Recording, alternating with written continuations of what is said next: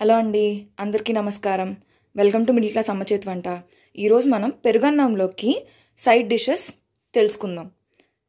చాలామంది పెరుగన్నం ఇష్టపడరు కదా చిన్నపిల్లలు కూడా. కానీ ఈరోజు మనం నేర్చుకోబోయే సైడ్ డిషెస్ కనుక పక్కన పెడితే పెరుగన్నం చాలా ఇష్టంగా తింటారు. అవి ఏంటంటే మామిడాళ్ళ ముక్కలు వాముప్పు అలాగే ఊరబెట్టిన మిరపకాయలు. ఇవి ఒక్కొక్కటిగా ఎలా చేసుకోవాలి అనేది ఈ వీడియోలో తెలుసుకుందాం. ముందుగా మామిడల్లం ముక్కలు ఎలా కలుపుకోవాలో నేను చెప్తాను. దానికి కావాల్సిన పదార్థాలు మామిడల్లం. ది ఇది నార్మల్ అల్లం కాదండి. మా మామిడల్లం అంటారు. మార్కెట్లో దొరుకుతుంది అవైలబుల్లో ఉంటుంది. ఇది దీన్ని పచ్చడి కూడా పెట్టుకుంటారు. మనకి బయట దొరుకుతుంది మార్కెట్లో. నిమ్మరసం ఉప్పు క్యారెట్ ముక్కలు జీలకర్ర. మామిడల్లమే ఇలా చిన్న పీసెస్గా కట్ చేసి పెట్టుకోండి మీరు. అలాగే పచ్చిమిరపకాయలు. సో మామిడల ముక్కలు కావాల్సిన పదార్థాలు ఇవి ఇప్పుడు తయారీ విధానం చూద్దాం. ముందుగా మీరు ఏ ఏ డబ్బాలో అయితే స్టోర్ చేసి పెట్టుకోవాలనుకుంటున్నారో దాన్ని శుభ్రంగా కడుక్కొని తుడుచుకొని ఇలా పక్కన పెట్టుకోండి. ఇప్పుడు ఒక బౌల్ తీసుకుని అందులో ముందుగా సన్నగా తరిగి పెట్టుకున్న మామిడాల ముక్కలు అలాగే క్యారెట్ ముక్కలు కూడా. క్యారెట్ కూడా అలానే రౌండ్గా సన్నగా ఇలా షేప్లో కట్ చేసుకోండి. పచ్చిమిర్చి ముక్కలు సన్నగా కట్ చేసుకోవాలి. జీలకర్ర కొద్దిగా. అండ్ ఉప్పు. ఉప్పు అనేది ఊరిన తర్వాత మనకి టేస్ట్ తెలుస్తుందండి. ఇప్పుడు దానికి ఆ వెజిట మనం వేసిన వాటికి సరిపడినట్టు సాల్ట్ వేసుకున్నాము. ఇప్పుడు నిమ్మరసం యాడ్ చేసుకుందాం.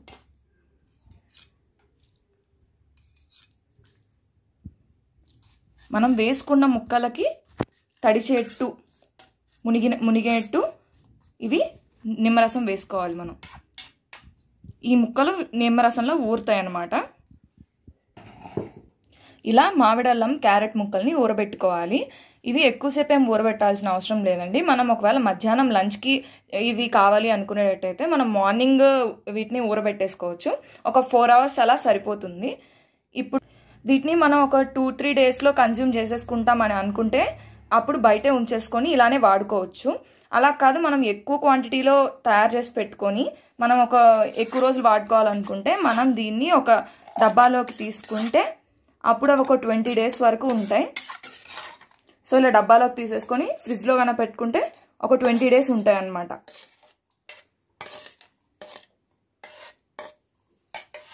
సాల్ట్ అనేది ఒకవేళ తగ్గింది అనిపిస్తే మనం అప్పుడు యాడ్ చేసుకోవచ్చండి. ఎందుకంటే నిమ్మరసం నిమ్మరసంలో ఊరిన తర్వాత దానిలో ఉన్న పులుపు అనేది బయటకు వస్తుంది కాబట్టి సాల్ట్ అనేది అప్పుడు బ్యాలెన్స్ అవుతుంది.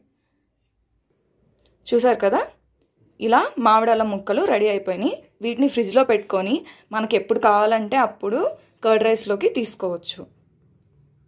ఇవి చాలా టేస్టీగా ఉంటాయి. చిన్నపిల్లలు చాలా ఇష్టంగా తింటారు. పుల్ల పుల్లగా ఉంటాయి కదా? అండ్ హెల్త్కి కూడా చాలా మంచిది. ఎందుకంటే మామిడల్లం జీలకర్ర జీలకర్ర డైజెషన్కి మంచిది. సో హెల్త్ బెనిఫిట్స్ కూడా ఉంటాయన్నమాట. అండ్ ఇప్పుడు నిమ్మరసం ఎక్కువ తీసుకోవాలని చెప్తున్నారు కాబట్టి సి విటమిన్ కూడా ఎక్కువ ఉంటుంది పిల్లలకి. సో మామిడల్లం ముక్కలు ఎలా చేసుకోవాలో చూసేసాం కదా. ఇప్పుడు ఇంకో సైడ్ డిష్కి మూవ్ అవుదాం. ఊరబెట్టిన మిరపకాయలు. ఎలా తయారు చేసుకోవాలో చూద్దాం. ఊరబెట్టిన మిరపకాయలకి కావాల్సిన పదార్థాలు.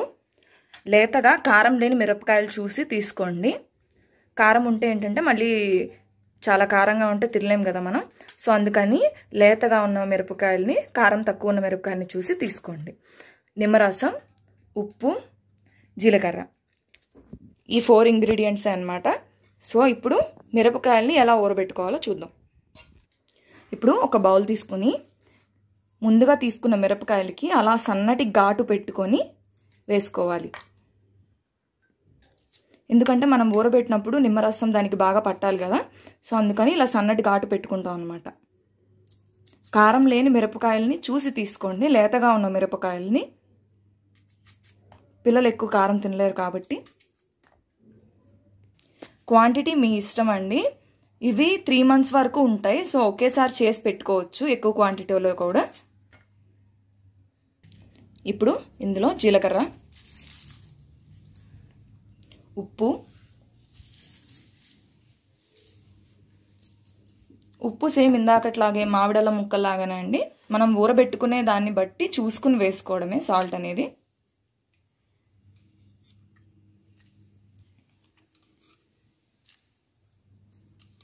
నిమ్మరసం వేసుకుందాం.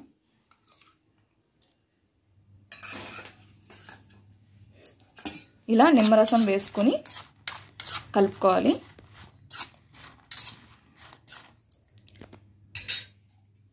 ఈ మిరపకాయలు ఊరడానికి కొంచెం టైం పడుతుందండి. ఒక minimum four to five days పడుతుంది. ఒక వన్ వీక్ అయితే పర్ఫెక్ట్గా సెట్ అయిపోతాయి అన్నమాట. ఇంకా అప్పుడు మనం వాడుకోవచ్చు. సో ఇలా ఊరిన తర్వాత మనం వీటిని తింటే చాలా టేస్టీగా ఉంటాయి. వీటిని మనం ఒక డబ్బాలో పెట్టుకొని ఫ్రిడ్జ్లో పెట్టుకుంటే త్రీ మంత్స్ వరకు నిల్వ ఉంటాయండి. సో మనకి మా మార్కెట్లో అవైలబుల్లో అవైలబుల్లో ఉన్నప్పుడు లెమన్స్ అండ్ మిర్చి అవైలబుల్లో ఉన్నప్పుడు చూసుకొని మనం ఇలా చేసి పెట్టేసుకుంటే మనకు కావాల్సినప్పుడు తీసుకొని వాడుకోవచ్చు. ఇవి ఒక త్రీ మంత్స్ అలా త్రీ మంత్స్ అలా ఉంటాయి. ఇవి ఊరిన తర్వాత ఒక వన్ వీక్ అలా అయిన తర్వాత ఇలా అవుతాయండి. ఇవి కారం ఉండవు అసలు. మనం మజ్జిగన్నంలోకి నంచుకో నంచుకోవచ్చు. పుల్ల పుల్లగా తీ పుల్ల పుల్లగా ఉంటాయి పెరుగన్నంలోకి. బాగుంటాయి. సో ఊరబెట్టిన మిరపకాయలు ఎలా చేసుకోవాలో చూసారు కదా? ఇప్పుడు వాముప్పు ఎలా చేసుకోవాలో చూద్దాం. వాముప్పుకి కావాల్సిన పదార్థాలు వాము ఉప్పు సొంటి. ఈ త్రీ ఇంగ్రీడియంట్స్ సరిపోతాయి వాముప్పుకి ఇప్పుడు ఎలా తయారు చేసుకోవాలో చూద్దాం. వాముని శుభ్రంగా ఇసుక అదేమీ లేకుండా శుభ్రం చేసుకోవాలి. అలాగే సొంటిని పొయ్యి మీద కాల్చుకోవాలి. ఇలా. సొంటి మనకి పచారీ షాప్లో దొరుకుతుందండి. ఇప్పుడు తయారీ విధానం చూద్దాం. చిన్న రోల్ తీసుకోండి. మిక్సీ అయినా పట్టుకోవచ్చు కానీ మిక్సీలో ఎక్కువ తిప్పకూడదు. అందుకని చెప్పేసి మనం రోల్లోనే ట్రై చేస్తున్నాం అనమాట ఇప్పుడు ముందు చెప్పిన వాము సొంటి అలాగే ఉప్పు వేసుకుని దంచుకుందాం. ఇలా దంచుకోవాలి. దీనికి క్వాంటిటీ వచ్చేసి మనం వాము ఎంతైతే తీసుకుంటామో ఉప్పు కూడా అంతే సమపాలలో తీసుకోవాలి. సొంటి కొద్దిగా అనమాట ఒక ఫిఫ్టీ గ్రామ్స్ కనుక వాము తీసుకుంటే ఇంత ఇంత చిన్న ముక్క సొంటి సరిపోతుంది పౌడర్కి. సో ఇలా వాముప్పు రెడీ అయింది కదా దీన్ని ఒక బౌల్లోకి కానీ డబ్బాలోకి కానీ తీసుకుందాం. దీన్ని ఒక డబ్బాలోకి కానీ ఒక బౌల్లోకి కానీ తీసుకొని తడి తగలకుండా పెట్టుకుంటే ఎన్ని రోజులైనా ఉంటుందండి. చిన్నపిల్లలకు కానీ పెద్దవాళ్ళకి కానీ ఇలా పెరుగన్నంలోకి ఇది తీసుకుంటే డైజెషన్ ప్రాబ్లమ్స్ ఏమీ ఉండవు. ఎప్పుడైనా స్టమక్ అప్సెట్ అయినా చిన్నపిల్లలకి కడుపులో బాగోకపోయినా ఇది పెరుగన్నంలో వేసి పెడితే ఏంటంటే అది సెట్ అయిపోతుంది. సో చూసారు కదా ఎంత ఈజీగా రెడీ చేసుకున్నాము. ఇది ఎన్ని రోజులైనా నిలవ ఉంటుంది. సో చూసారు కదా పెరుగన్నంలోకి మూడు రకాల సైడ్ డిషెస్ మనం ఎలా అయితే ఎలా తయారు చేసుకున్నామో ఈజీగా ఇంట్లోనే మనకుండే మనకు అవైలబుల్లో ఉండే వాటితోనే ఇవి ఖచ్చితంగా అందరూ ఇష్టపడతారు పిల్లల నుంచి పెద్దవాళ్ళ దాకా. అండ్ పెరుగన్నం అంటే ఇష్టం లేని వాళ్ళు కూడా ఇవి ఇవి ఉంటే ఇష్టపడి తింటారు. సో మీరు కూడా వీటిని ఇంట్లో ట్రై చేయండి. అండ్ మీకు గనక ఈ వీడియో నచ్చినట్టయితే ప్లీజ్ లైక్ చేయండి. మీ ఫ్రెండ్స్కి రిలేటివ్స్కి ఈ వీడియోని షేర్ చేయండి.